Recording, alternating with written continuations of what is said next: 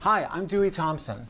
In this episode of Corporate Film School, I want to tackle the aspect of filmmaking that is, for most non pro viewers, perhaps the most mysterious, technical, and arcane editing.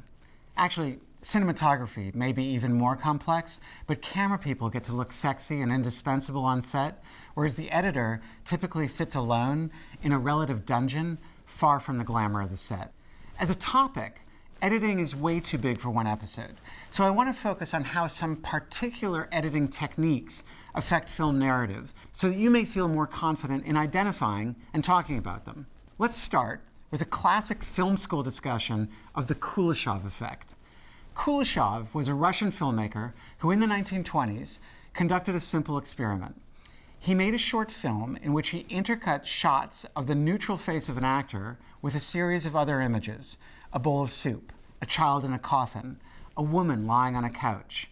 When he showed the film to an audience and asked for reactions, they consistently projected emotions onto the actor hungry in relation to the bowl of soup, sad about the dead child, lustful when watching the woman on the couch. But it was the same expressionless shot of the actor in each sequence. We're still talking about this a hundred years later because Kuleshov not only showed that editing can actually create emotion and meaning from shots in a film, but he also proposed that this amazing phenomenon is what makes film unique as an art form. So, what does this have to do with corporate video? Well, the Kuleshov effect is the foundation of film grammar, and the powerful effects of juxtaposing images delivers meaning and emotion in every film or video, including business communication.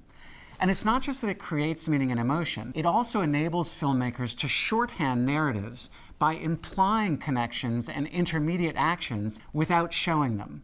For example, audiences said that the actor was hungry because they projected hunger on his face while he was looking at the bowl of soup.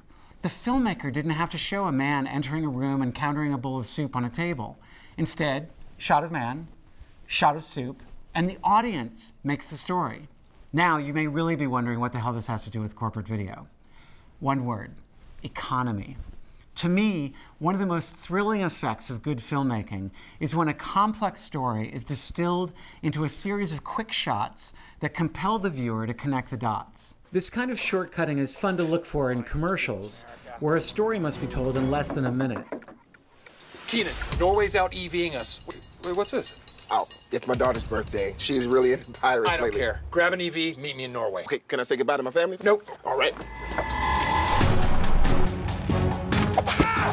Awkwafina, sorry to disturb you, but Norway's beaten us at EVs. Nuh-uh.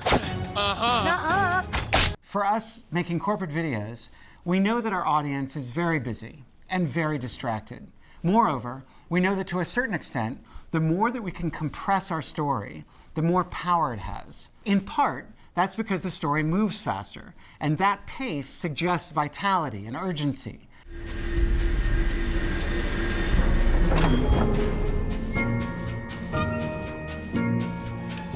Are you Monsieur Gustave of the Grand Budapest Hotel in Nebelsbad? Uh-huh. Stretch with me.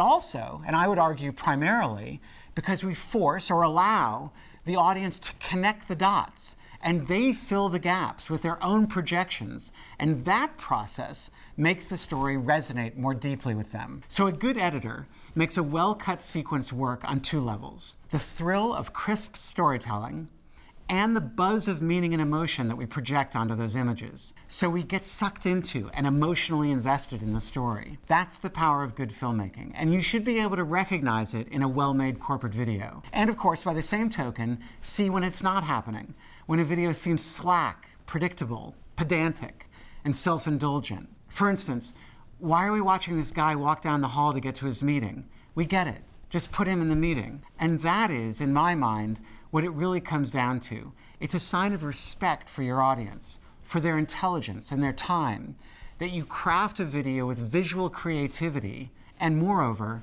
economy.